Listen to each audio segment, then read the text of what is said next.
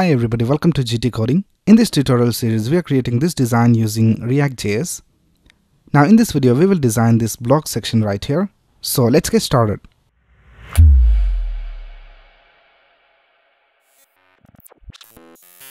Right here, I'm in the source code and let's go to the blog component. So let's open this folder and let's click on blog.jsx. The first thing we will do is we will change this division into a section and I will also give it an ID of blog. And let's also give it a class name. So since we have pink color for this uh, section we will give it a class name of pink because we have set the class names over here in the index.css file. So here we can see for the pink class we have this background color of pink. So let's go ahead and uh, first of all let's create a division with a class of wrapper because for this also we need to have a fixed width so let's create a division and let's give it a class name of wrapper. Now in this the first thing we need to have is this heading. So let's create an h2 for that and we'll also give it a class name of light and here we'll just type latest posts. Now here we have given it a class name of light because uh, if you go to the index.css file here for the heading we can see that we have a heading with a class of light. And when we have the light class for the underline we are having a yellow color. So if you go back to the figma file here for this heading we have this yellow underline. But for all the other headings we have this red underline. So that's why we are adding this class of light for this h2 so if you go back to the website here we can see we have the correct underline for the heading. Right now let's add the other elements. So if you go back to the figma file here we can see we have these three different posts. And first of all let's create a container division. And we'll just give it a class of content container. Now for each of these posts I'll just create divisions with a class of post. So let's create a division.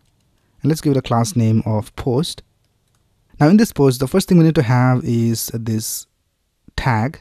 So let's create a division. And let's give it a class name of tag and first of all we need to type do and the next thing we need to have is this thumbnail. So for that let's create an anchor tag. And in this anchor tag we will have the image. So that whenever the user clicks on this image they'll be taken to that post. Now let's create an img tag. And here we need to add the first image. So if you go to the assets folder here we can see we have these three different images. Blog 1 blog 2 and blog 3 so let's import them over here. So i'll just type import and let's type blog 1 and uh, blog 2 and blog 3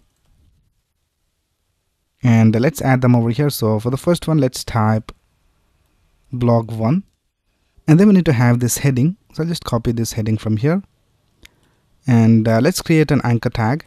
And in that we will have an h3 and let's give it a class name of post title. And let's paste the title over here Right, that's it with the first post. So I'll just copy this post from here and I'll just paste it two more times for the other two posts. Now for the second post, we have the tag as mixing and then we have this title. So let's change this to mixing and here we'll just change the image to blog 2 and I'll just change the title to the second title and then lastly we have vox as the tag. So here let's type vox. And uh, here I'll just type blog 3 and I'll just change the title. And then lastly we need to have this button right here. So let's go outside this division which is the content container division. And let's create a division. And let's give it a class name of btn container. And then that will create an anchor tag and let's also give it a class name of all posts button. And here I'll just type all posts. Alright now let's go back to our browser and uh, this is how it looks. Alright now let's style this using CSS so let's go to our CSS file which is blog.css now if you go to the index.css file here we can see for the content container we have set the display to flex now for the content container of the blog component, we need to change this to a grid. That's because if you go back to the Figma file, here we can see for the blog component, for the tablet we have a different kind of layout for the blog component. And this will be easily accomplished with display of grid. So let's go back and let's go to the blog.css file. And here let's type hash blog content container. And let's set the display to grid. And now we need to have three columns. So let's type grid template columns and let's just set it to 1fr 1fr 1fr which means three columns with the same width. And let's go back to the figma file and let's see what is the gap. So we have a gap of 40 so let's see how it looks. Let's go back and let's tap gap and let's set it to 40 pixels. And let's go back to our browser. And we also need to change the width of the image. So let's go back and let's do that. Let's type blog post img now here we'll set the width to 100% and for the height let's see what's the height in the figma design. So let's select this image. And uh, here we can see we have a height of 159 let's just round it to 160 so just type height of 160 pixels. And we'll also set the object fit to cover so that it has the correct proportions. Now if you go back to our browser here we can see this is how the website looks. Right now let's style the post division. So here we can see we have this division with the class of post and in that we have all the content of the post. So let's select that. Let's type blog post. And first of all let's set the background color to white. And uh, let's go back to the figma file. And let's select this division right here. And here we can see we have a border radius of 10 pixels. So let's go ahead and add a border radius of 10 pixels. Right let's go back to our browser and this is how it looks. Right now we need to style the tag so here we can see we have this tag. We need to set the position of this tag relative to the post division. So for the tag we have this division with the class of tag. So here I'll just type blog post tag and let's set the position to absolute. And here for the container division let's add a position of relative. And now let's go back to the figma file and let's select this tag and let's go to the inspect and here we have the styles. So let's copy these styles from here and I'll just paste it over here. And we also need to set the color of the text to black. And uh, here we can see we have the tag displayed. Now we also need to add a background color. So let's type background and let's set it to white. And if you go back to the figma file and if we select this rectangle here we can see we have a border radius of 10 pixels and we also have the top and the right positions set to 8 pixels. And we also have a padding of 0 and 16 pixels. So let's copy all these styles so let's paste it over here. And uh, let's copy these two styles let's paste it over here. And we also need to copy this border radius. And uh, let's paste it over here. And here let's also type serif as a backup font and we'll just remove this font style normal from here. So let's go back to our browser. And here we can see this is how the tag looks right now. Now here we can see we have these rounded corners for the post division. But for the top left and top right we don't have rounded corners. That's because there is this image on top of this post division. So for that we need to go back to the post division. And here we need to type overflow and set it to hidden. And now we can see we have this border radius displayed. Let's also add a hover effect to these posts. So here let's type blog post colon hover. And uh, let's type transform scale. And let's set the scale to 1.04 and we'll also have a smooth transition. So I'll just type transition all to 400 milliseconds ease.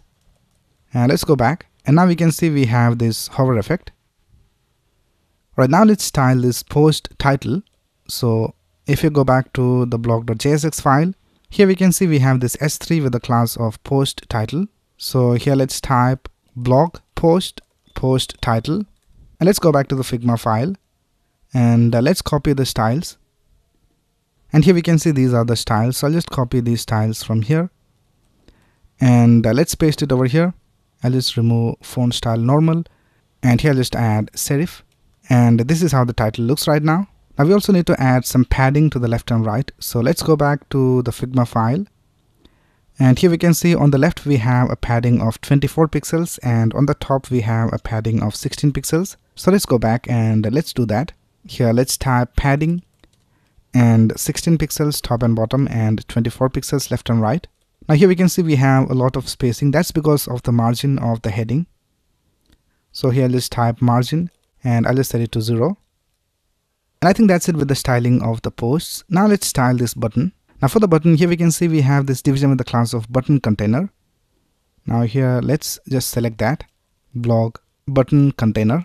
Now here if I just add a background color here we can see that this is the button container division. Now we need to bring this button to the right side.